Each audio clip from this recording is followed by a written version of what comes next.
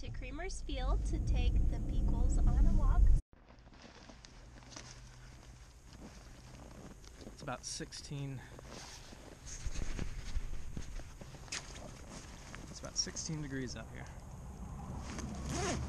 here.